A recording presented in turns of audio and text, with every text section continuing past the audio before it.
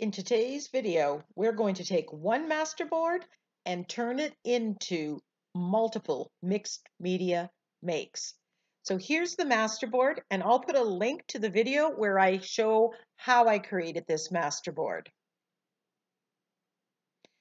So out of that one 11 by 17 masterboard, I'm going to make six pieces, mixed media pieces one 7 by 10 art journal page, but you could do an 8 by 10 canvas, a 6 by 6 wood panel, two 4 by 4 magnets, one mini composition book,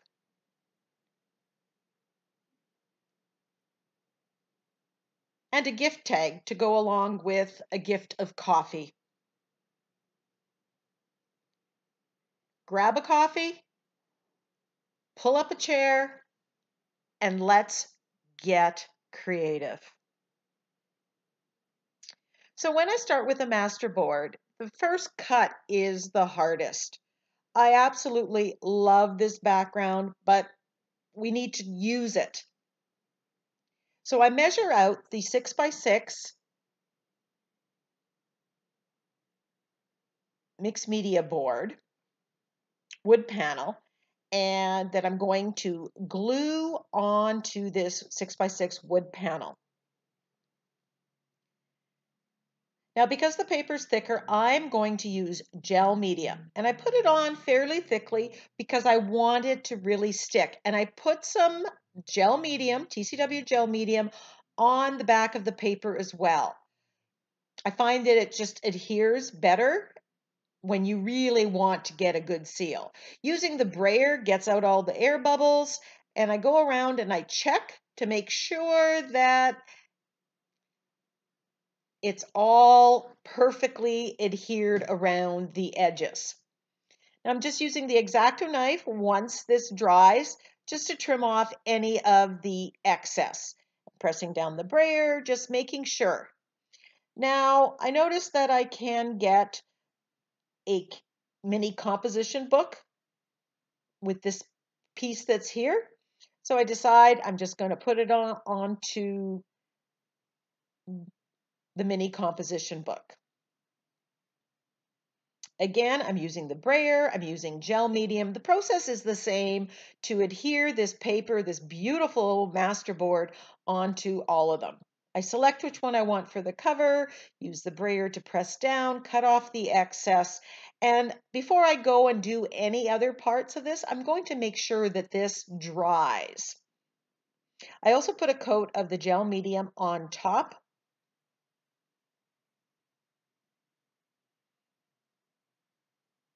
That just seems to help the seal.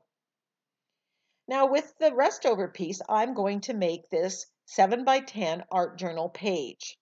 So I'm figuring out, and, and I notice that, oh, there's a four inch span here. That's perfect for those four by four mixed media boards or canvas. These happen to be magnetics. So I'm measuring out four inches here So usually from 11 by 17, I'm getting two bigger pieces and then some of those smaller ones. Magnets or those composition books are a great way to use up the littler pieces.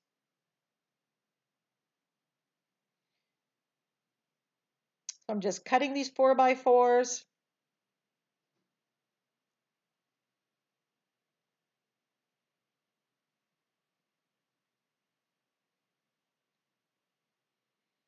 And then I'm going to use my TCW gel medium.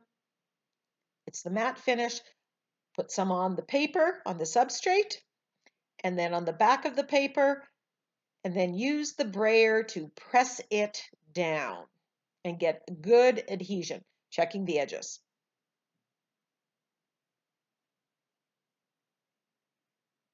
And cutting off excess.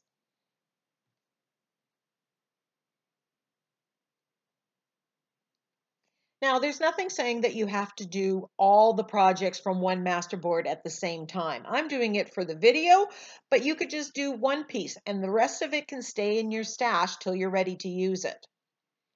I'm putting a coat of gel medium on the top.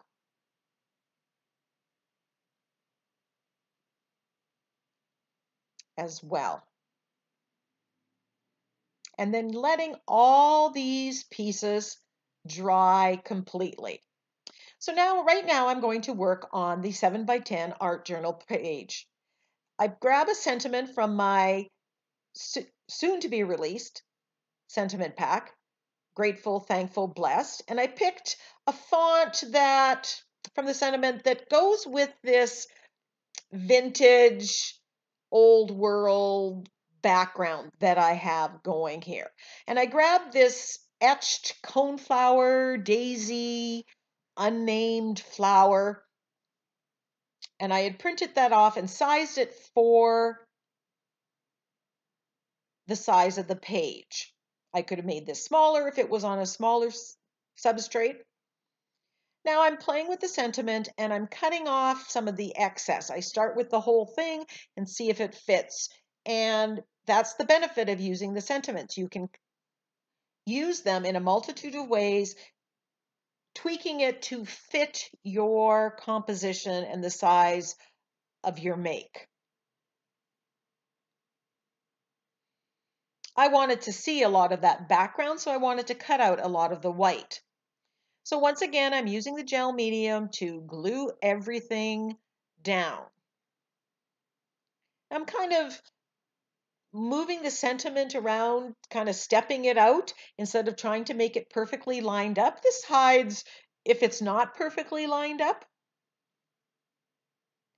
Now this master board I completely love. It was a done deal. I didn't have to add anything to it at all.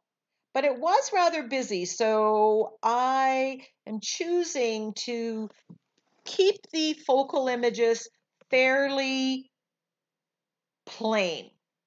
Now there was a little bit of, I was a little short with the, the cut paper, so I'm just colorizing it. You can put some gesso on, some paint, and just tweak the colors a little bit. Fill in those white spaces if it bothers you. Sometimes you have a not quite, you might even have a centimeter around, you can just paint that edge out the same colors that you have. Now I'm using unbleached titanium, white gesso, and a little bit of the Naples yellow, and I'm painting this flower out. I don't want to get rid of the, the sketchy lines, and I'm doing going very painterly. Inside, I'm using the Naples yellow because I want to bring that out from what's in my background. I really am kind of globbing on the paint. It's adding texture to the petals.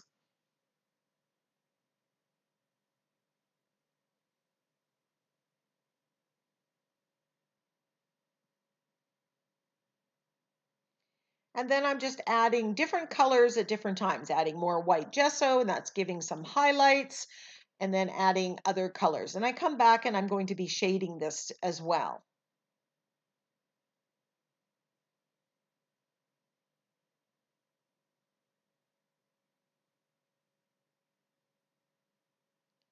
So I'm still adding more on here. This is just adding dimension, adding texture to the petals and making it my own. The sketch that was underneath was just the guide. So you could use a napkin, a free printable, or a sketch that you've drawn. Now I'm using the burnt sienna, that's that reddish brown in the background, and adding that to the center of the flower as well. I want it to tie in with the background. And then I'm doing a little bit of shading with brown.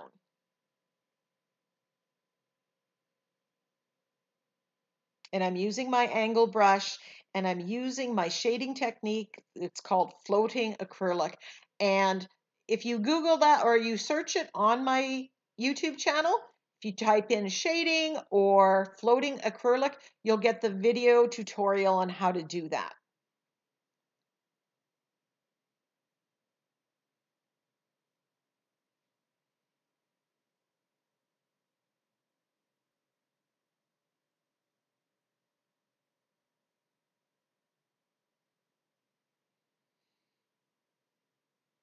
Now I'm shading around the outside edges with black. There is a lot of black in that background, and I want to frame this page. Now, just because I've done this on an art journal page, if you wanted to do something similar, you don't have to do it on an art journal page. You can do it on a canvas, on a wood panel. You pick the substrate. This could even go on a um, cover of a book. Now I'm using my General's charcoal pencil with a very, I'm holding it loosely and I'm kind of sketching around the flower smudging a little bit to shade. I just like the sketchy effect of it. And then I'm adding a little smudging around the sentiment as well, just to make it look more vintage to go in with the background. I'm using the heat tool to release the tape. This has been on here for many, many, many days, and it did rip up a little bit, but if you take the time, you should do a much better job than I did. So moving along to the 4x4 or 6x6 wood panel. I loved it, but this time, because the background's busy, I'm going with black. And I'm using TCW black modeling paste. I'm applying it with a key card through this cypress tree stencil. So I'm going for a silhouette. And I love the way that looks. Then I set that aside and make sure it dries. And you're going to want to clean your stencil. I rub off the excess. And actually, I got another whole print with it. Now I'm going to put some letters on here, but it's so busy I need to knock back some of that background. And I'm going to use my wood stamps and stamp out roots and wings with black acrylic paint. And that's what was on that palette board. Because I knocked it back, we can now make out these letters very well. Because everything underneath is permanent. When I made a mistake, I can erase it with a baby wipe and get the exact placement. I decided to put the butterfly over the root, the roots of the tree, and I went with the sentiment roots and wings.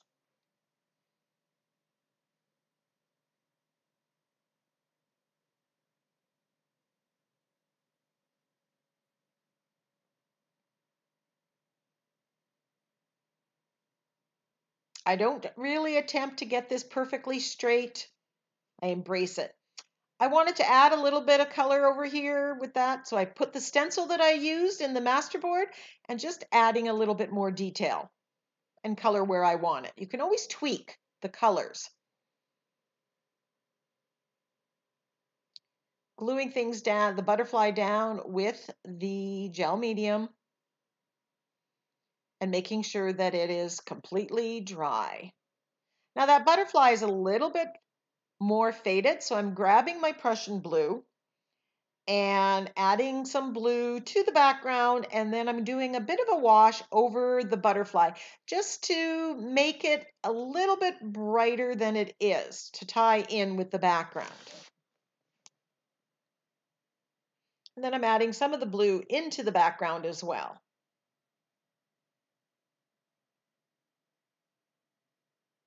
Remember, the master board is just the start. You may add a little bit or keep it as it is.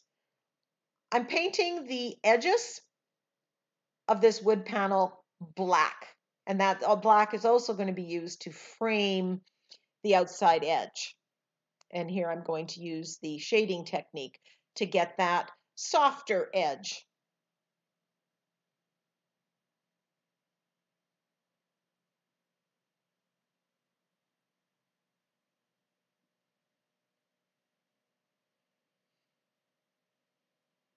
and I'm shading a little bit around the butterfly as well to make it pop.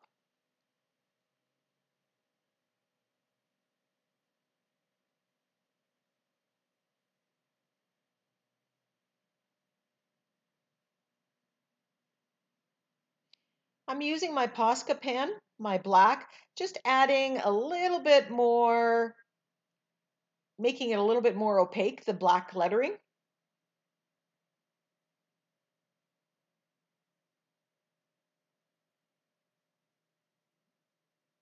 Just because I want it to stand out a little bit more.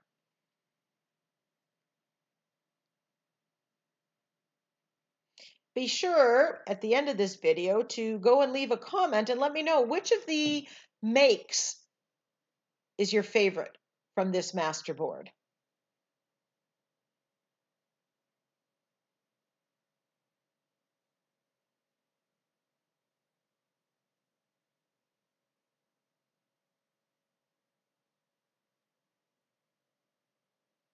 And since it's a craft fair item to sell, I signed it. Now these magnets, I'm just cutting off the excess now that it's completely dry. And I'll make sure that everything is perfectly adhered, adding some glue, gel medium, if necessary.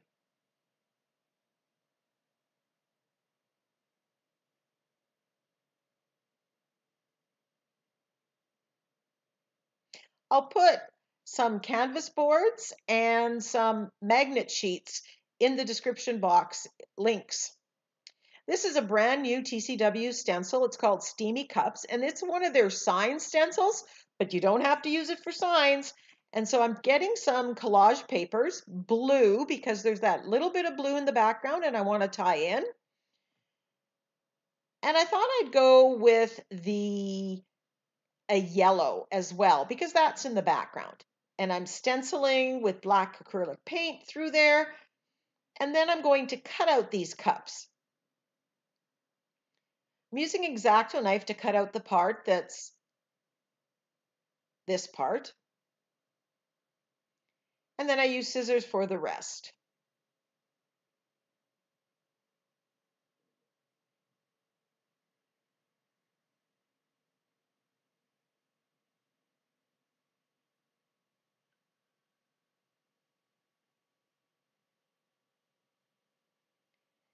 I edge it with the black acrylic paint on a makeup sponge just to get rid of the white.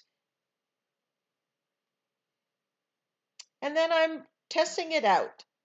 And the yellow, light yellow one cup, it's not standing out quite enough. I go to my coffee or tea sentiment pack and I cut out, choose a couple sentiments on there. These are great for craft fair makes. And all my sentiment packs are available at Ninny's Napkins.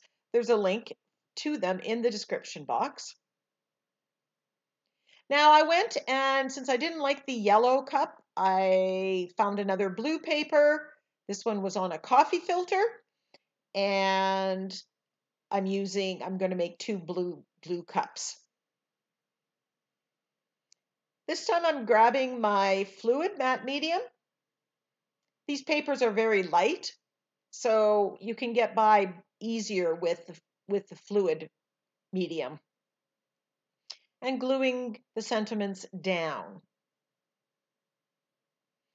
If one says, of course, size matter. Who wants a small coffee?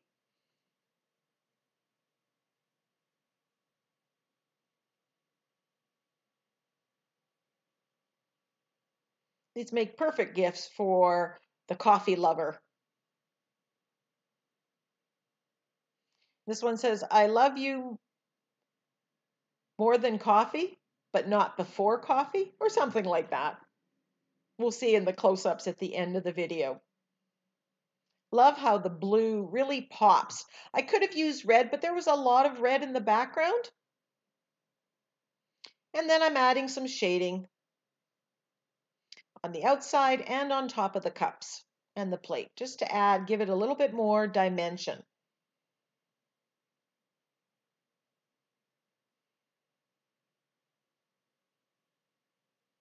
The shading, the outlining, that all makes such a big difference to your finished project. If you're not happy with your projects, maybe look at how you're finishing. Sometimes that's what really bumps it up. I'm using a stylus and I'm dipping into gold paint to add a little contrast to the cups. There's gold in the background and I want to tie in.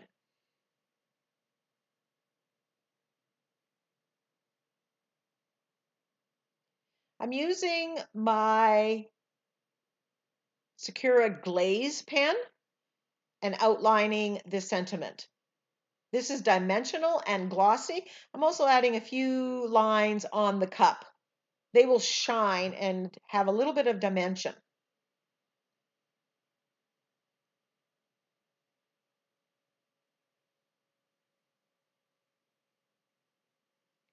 And then I'm edging this one. And that just frames it. Now I forgot that it's better to paint the canvas black around the edge before you glue the background papers on. This is one of the Crazy Birds, Tim Holtz Crazy Birds, and I'm painting it blue to go on this mini composition book. I'm sticking with the color theme that's already there. Adding some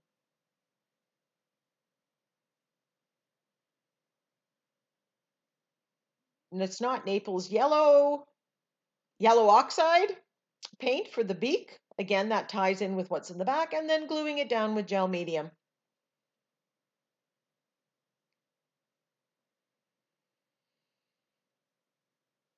And adding a sentiment from, I'm not sure which of my sentiment packs. It says, hold on, let me overthink this. Hands up if you ever do, have done that when you're working on an art journal or mixed media piece. Definitely I have. Adding some shading.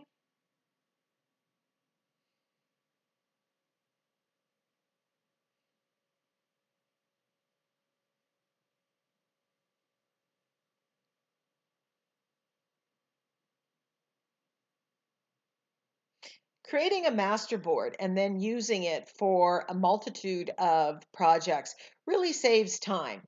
And when you're doing a master board, you're not really thinking about the end composition. So you're a little more free. And sometimes you end up with a masterpiece. That's what I think this master board was. It was so absolutely beautiful.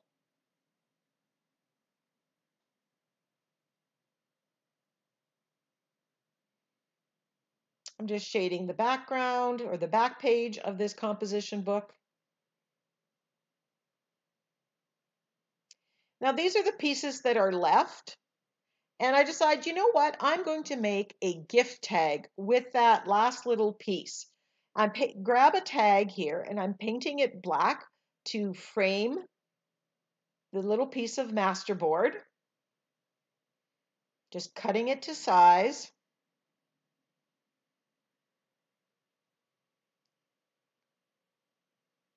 Now I was going to leave the burnt sienna circle reinforcement there. And then I chose to paint it out because I didn't, I really didn't like it. Didn't want it to take away from the focal image.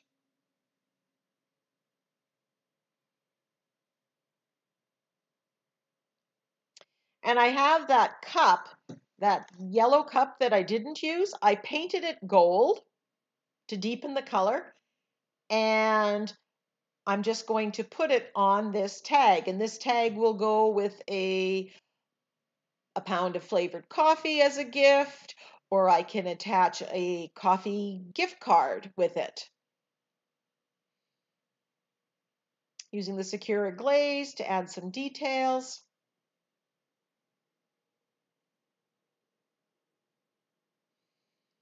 And then I decide I'm just going to add the steam by doing some stent, bring back the steamy cup stenciling and add that.